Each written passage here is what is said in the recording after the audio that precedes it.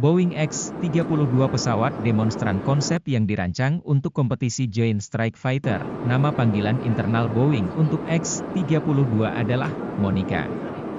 Namun efek lain dari pemilihan sistem pengangkatan langsung adalah asupan udara yang dipasang di dagu yang besar. Ini diperlukan untuk memberi makan udara yang cukup ke mesin utama, untuk memberikan daya dorong yang diperlukan untuk melayang, selama fase kecepatan horizontal 0, saat mesin tidak dapat mengeksploitasi tekanan ram udara. Penerbangan pertama X-32A, dirancang untuk uji coba col dan kapal induk, berlangsung pada 18 September 2000, dari pabrik Boeing di Palmdale ke Pangkalan Angkatan Udara Edwards.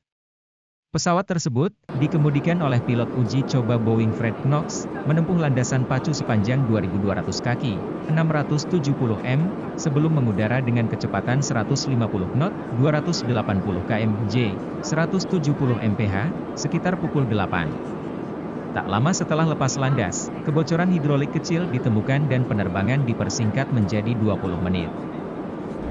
Karena desain sayap Delta X 32 yang berat, Boeing mendemonstrasikan Stoffel dan penerbangan supersonik dalam konfigurasi terpisah, dengan konfigurasi Stoffel mengharuskan beberapa bagian dilepas dari pesawat tempur. Perusahaan berjanji bahwa desain ekor konvensional mereka untuk model produksi tidak memerlukan konfigurasi terpisah dan untuk memberikan sudut yang baik untuk peralatan antena konformal yang dipasang di sayap. Sayap akan membuktikan tantangan untuk dibuat tepat di belakang kokpit, dan memindahkan pusat gravitasi ke depan dari posisi biasanya di jet tempur, ke arah belakang pesawat, untuk mengaktifkan sikap melayang netral. Boeing telah mengusulkan, pada 1960-an, pesawat tempur supersonik serupa dengan mesin yang dipasang di tengah pusat gravitasi dengan nosel dorong vektor, tetapi ini tidak pernah melampaui gambar yang diterbitkan di Aviation Week. Penerbangan berlangsung 50 menit saat pesawat terbang dari Palmdale ke Edwards AFB. Penerbangan awalnya dijadwalkan untuk kuartal ketiga tahun 2000. Sebuah versi modifikasi dari mesin, 614C, yang dikenal sebagai F119PW614S, menggerakkan pesawat Stoffel 15 dalam penerbangan normal. 614S dikonfigurasikan sebagai turbofan afterburning konvensional.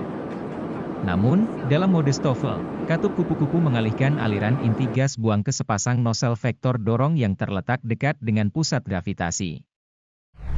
Boeing meluncurkan kedua demonstran konsepnya di pabriknya di Palmdale, California, di depan 5.500 peserta.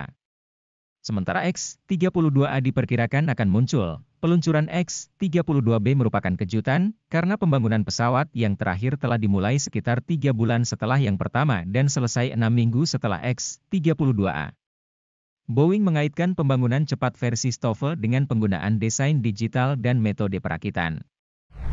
Strategi Boeing untuk keunggulan kompetitif adalah menawarkan biaya manufaktur dan siklus hidup yang jauh lebih rendah dengan meminimalkan variasi antara versi JSF yang berbeda. Oleh karena itu, X-32 dirancang di sekitar sayap delta komposit serat karbon satu bagian yang besar. Sayap memiliki bentang 9,15 meter, dengan sapuan tepi depan 55 derajat, dan dapat menampung bahan bakar hingga 20.000 pon, 9.000 kilogram.